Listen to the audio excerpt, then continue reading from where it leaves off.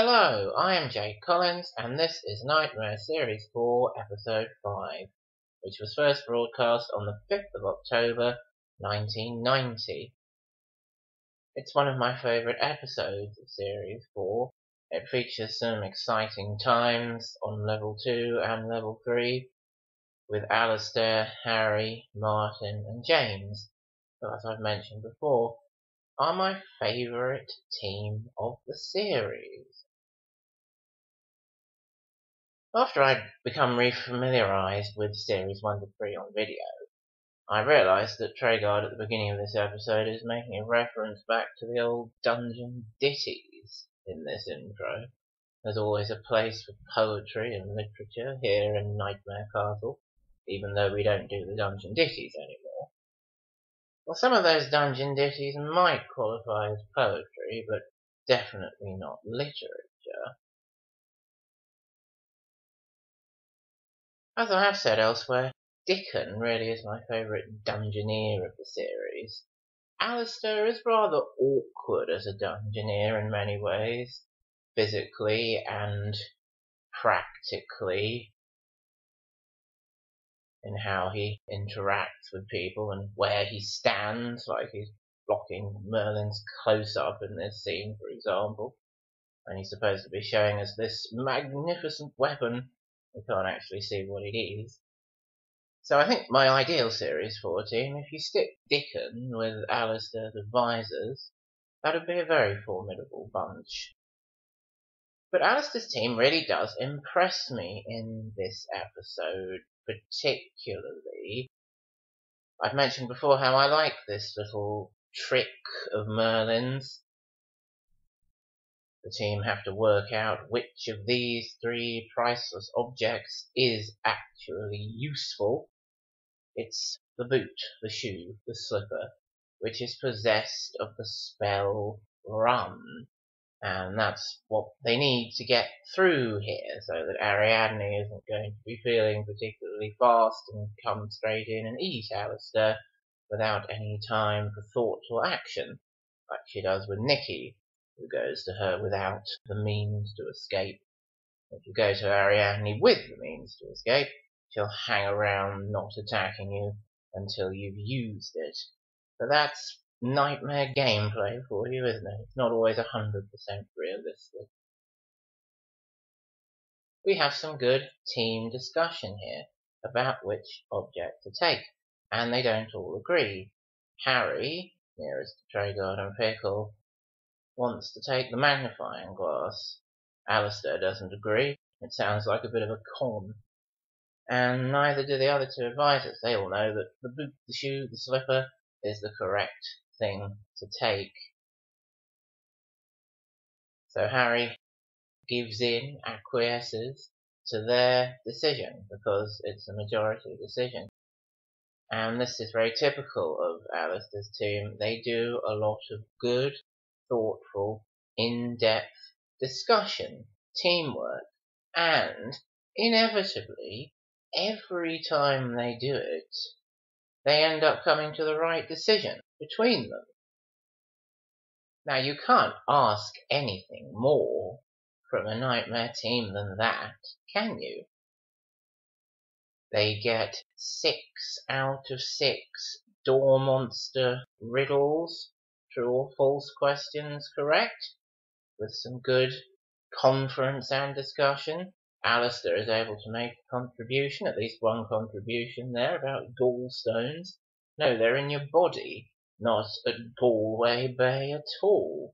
They got all three correct with Oakley. They're going to do it now with Dorcas's questions. Have some good, intelligent discussion between them and come out with three correct answers again.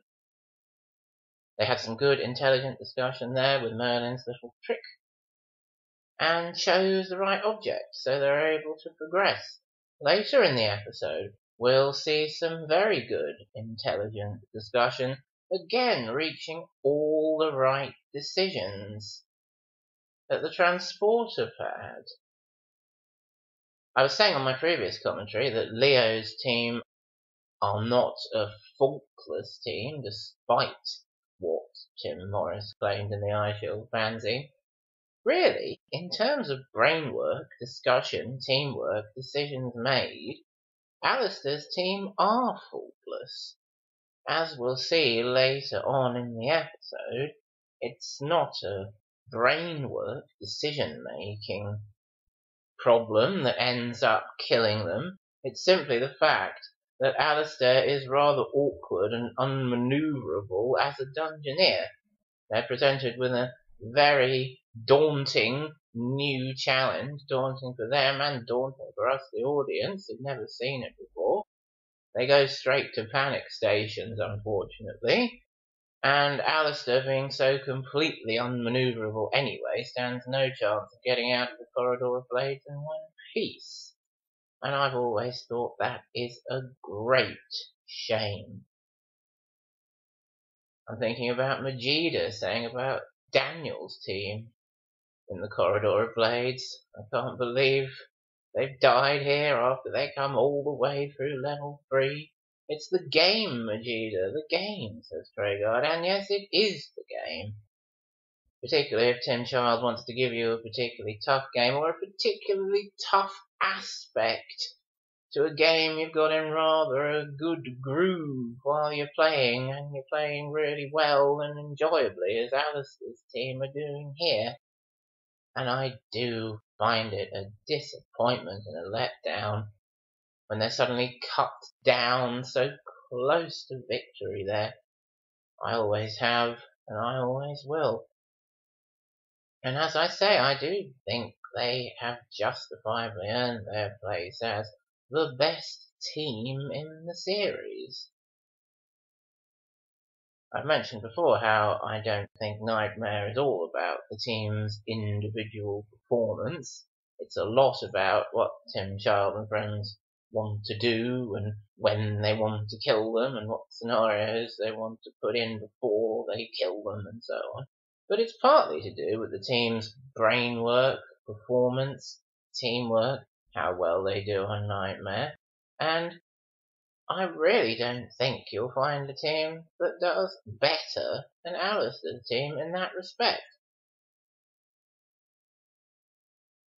They talk intelligently, they discuss pertinently, and they come to all the right decisions.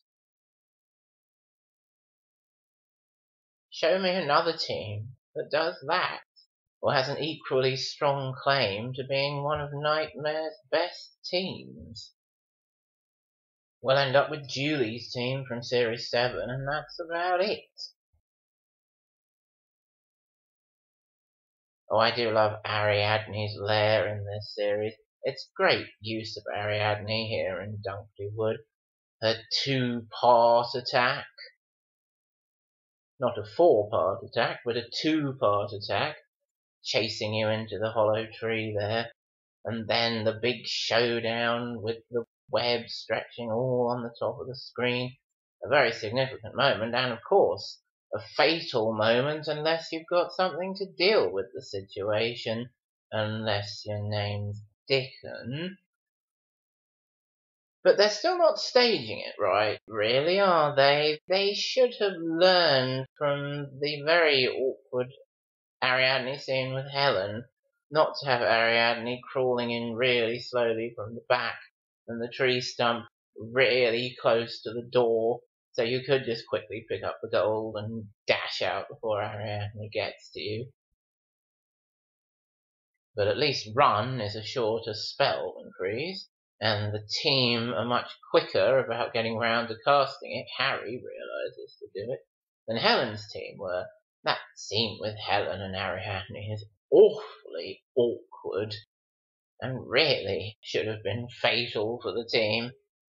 If the gameplay was real in any way, it would have been Ariadne hanging around for ages and ages. Rachel very slowly realizing to cast the freeze spell and then very slowly casting it. Not a good scene at all. That one with Alistair is much better. Spellcast run quickly. Spellcasting ah, R-U-N. Whoosh, off he goes. But it would look even better if it was staged more like it is later in the series with the tree stump further away from the door. I don't really like the way they start having Ariadne coming in from the side. I suppose the intention being that it looks like she's coming to block the path of the Dungeoneer, but I don't think it looks very good. I think they should have the tree stump a long way away from the door and Ariadne coming in from the bottom of the screen. A quick action with magic is required. Oh, I do love this sequence with the Dunswater, the boatman, crossing to the Tower of Time, Leeds Castle in Kent. A brilliant way to change levels, or almost change levels. You're not on level 3 until you get to the bottom of the stairs, are you? But it's a great sequence. Probably my favourite outdoor sequence from Knightmare. Rowing across the Dunswater to get to level 3. Great stuff. I was talking about Paul Valentine being impatient on my previous commentary when he's playing the boatman there and he has trouble getting the dungeoneer to approach him and give him the gold and it takes ages and then he finally manages to get his fingers around the gold and claps it sarcastically into his other hand in a very impatient, peevish manner before grudgingly directing, pointing the Dungeoneer to get into the boat. That's classic Paul Valentine. Adding some of his own impatience into the characters he plays. These stairs that take you down into level 3 are from Castle Rising in Norfolk. It's still a great atmospheric bit of eye shield work here. Much as people hate the eye shield, I do love the atmosphere, the sense of journey it adds to the quest, as long as the sequences don't go on too long. And that disembarking from the boat after crossing the Dunswater, going through the door, coming round the corner and down those stairs into level three, that's some of the most atmospheric Knightmare significant ooh, level three moments for me. Not as good as the minecart ride, I must admit, but very well placed in this series as we branch out into outdoor locations. The feeling of the epic journey through Dunkley Wood across the Dunswater and then down to level 3 works extremely well for me. I've always engaged with it very much. Level 3 begins with this new challenge, as I mentioned, the transporter pad, which I do like quite a lot. It's one of the few new pieces of David Rowe artwork for Series 4, and there's another piece of new David Rowe artwork for Series 4 superimposed behind the transporter area there with the subterranean cave area. David Rowe does some lovely work for much of Knightmare, of course, but particularly I think for Series 4 Level 3, adding to its very nice very atmospheric setting. I do like it very much. This is the best, or perhaps the better appearance of the transporter pad. It does have a brief third appearance with Giles, but they don't actually get to start the puzzle because the season comes to an end. It's edited better than Dickon's version. I do prefer the transporter effect without the blue lightning, actually, that Dickon gets. I think the blue lightning is overkill, but even more importantly, the guys in the editing suite remember to let Alistair step back to the middle before making him disappear, and they don't with Dickon, which really contradicts what Pickle says. Return always to the middle, but the editors may spoil that by making you disappear when you're on the red stone. Of course, in practical terms, the reason the Dungeoneer has to step back into the middle is that the Dungeoneer never actually moves and is on the same three stones all the time. So in order to appear in the middle on the next one, they have to step back. Makes a lot of sense. Unfortunately, on that third one, they make him disappear too early starting bad habits there that they're going to carry on with Dickon. And Dickon is instructed to step over that final red transporter bit. so that he doesn't touch. And Alistair just sidesteps right over it. I mean, Dickon's version probably makes more sense. But I don't think it really matters either way. And I do think Alistair's advisors there do a better job than Dickon's advisors actually talking through the puzzle and working it out. Alistair becomes one of those dungeoneers there who tries to help without really knowing what's going on. Right hand paths always, no, left, left. Yes, Alistair, you don't want to be going right there because you can't see how you'd be immediately killed by the armoured knight if you did.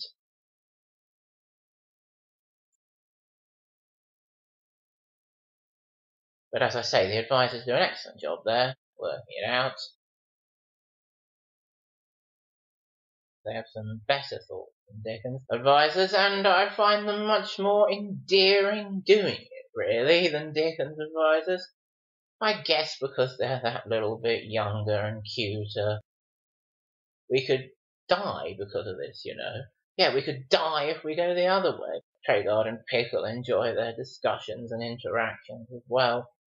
They're enjoyable, but importantly, of course, they always come to the right decision.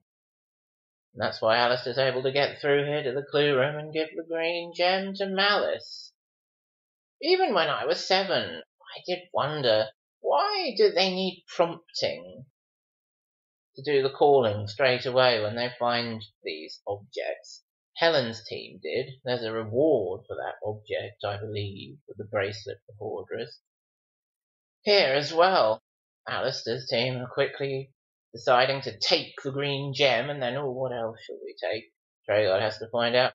Don't you think it's time to redeem your pact with the lady? And then Martin realizes, oh yeah, of course, then we can take two more objects. They're stuck in Series 3 prototype Chris gets the hourglass for Hordriss mode. The spell Hero was a reward from Malice there. I remember thinking in the first place, oh, she's not as generous as Hordriss, is she? I suppose that fits their characters more. He gave Helen two spells, but just one spell as a reward for Alistair. Hero. And wouldn't it be nice to know what exactly that would have done? It may summon one who is long dead to your cause makes it sound like King Arthur or something should come and help Alistair by defeating Mogdred for him. One of those very tantalizing scenarios that we never actually get to see play out on screen in Knightmare. Frustrating stuff. And of course, when the spell hero is given out again in Series 5 and cast, and I think, ah, now we'll find out what it would have done in Series 4 if Alistair had got round to casting it. Oh, no, it summons Sir Hugh in Series 5. It wouldn't have done that in Series 4. So it's forever going to remain a mystery. Then here's the fatal moment. I was quite happy, having seen this corridor before. We're trundling along, nothing's going to happen. Ah! Big blades are suddenly coming. It's the debut of the corridor of blades. This is most unfair, Master says Pickle. He agrees with me, it is most unfair.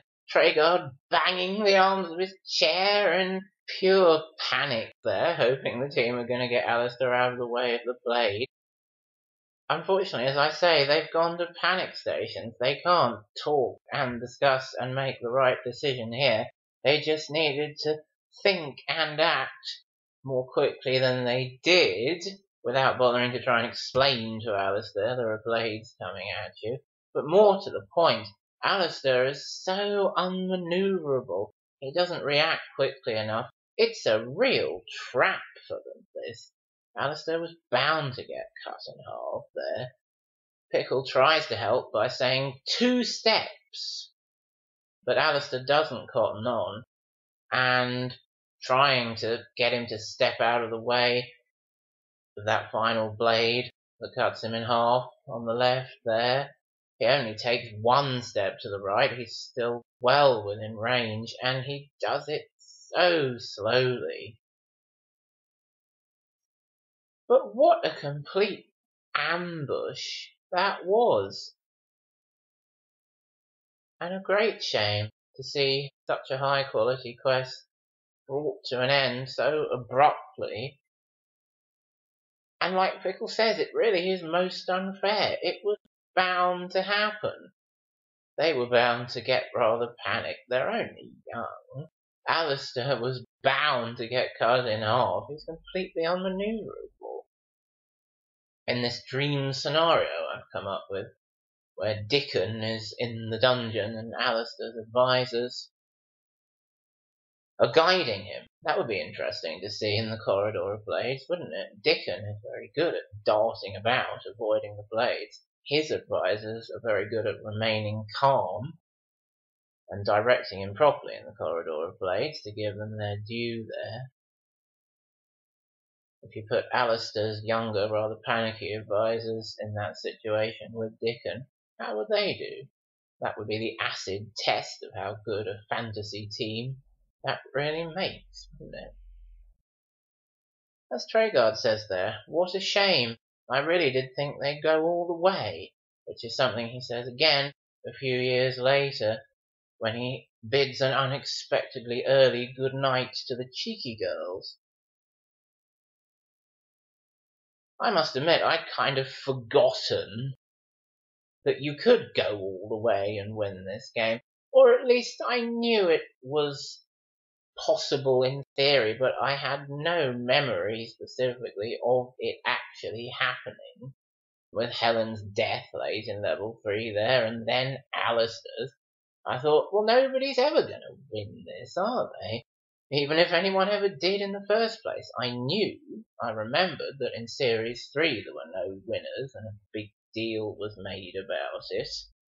But I must have known, in theory, that before that somewhere in the first two series, people had one, but I had no memory of it, no concept of what it would be like. Which really added to the excitement of seeing Dickon win later in the series. But, truth be told, looking back in the cold light of day, despite Dickon's wonderful appeal as a Dungeoneer, I'd much rather it had been Alistair's team had won here. And what I say is, why not let them do it? Why give them the corridor of blades in the first place? Haven't they been through enough to prove themselves worthy of a win? Haven't they come to all those correct decisions, succeeded in all those challenges, including the transporter pad? Well, I think they've done more than enough to win, and I'm very disappointed still that they didn't. And it's not like we don't need a winner to keep the audience interested. We haven't had one since Julian. This isn't the only time that when there's a lot of series left to play around with, Tim Child and friends are rather inclined to do everything in their power to stop the most deserving winners win, in my opinion. Thanks for listening to this commentary on Knightmare Series 4, Episode 5. I'm not sure if there's really any significance to why I've done three episode fives in a row. Perhaps it's true that in all cases the series is starting to pick up and get rather exciting there, and that's why I've chosen those episodes before I even realized they were all episode five. But then thinking about series five, I thought, well, surely I'm not going to end up commentating in this new series of eight commentaries on four episode fives in a row. That would just be ridiculous. But then what did I discover? That if you join me again next time, you'll hear me talking about Series 5, Episode 5.